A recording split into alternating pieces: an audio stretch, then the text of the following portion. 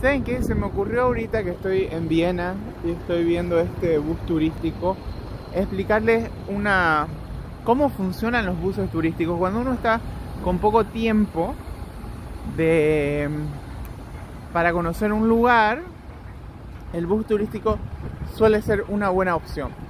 Cuesta más o menos 30-35 euros y son mundiales, entonces si ustedes utilizan uno en Israel, no sé dónde, el, el, ticket les va a servir para que les den un descuento. El, el sistema funciona así.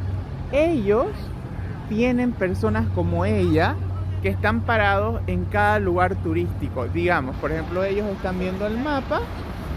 Ahorita yo estoy abriendo un mapa acá. Y tienen paradas en cada lugar turístico. Entonces, yo pago mi ticket. Mi ticket dura 24 horas. Y tengo un montón de paradas para bajarme.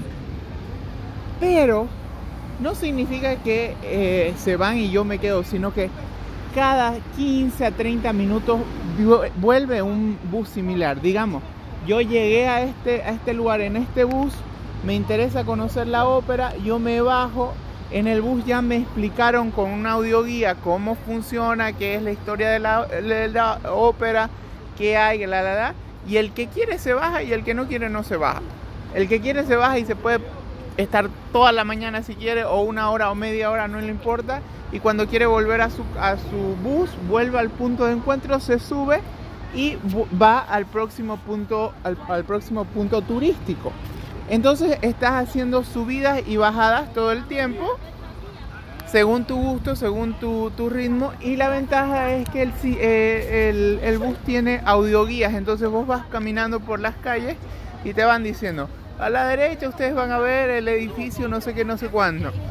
Ahí el año de los palotes, no sé qué, asesinaron al no sé cuantito. Cositas así que te van diciendo y te van distrayendo mientras vas con, eh, conociendo la ciudad. Un dato bonito, aquí están los vendedores de la ópera. Ellos venden los tickets para entrar a la ópera en Viena, por si acaso.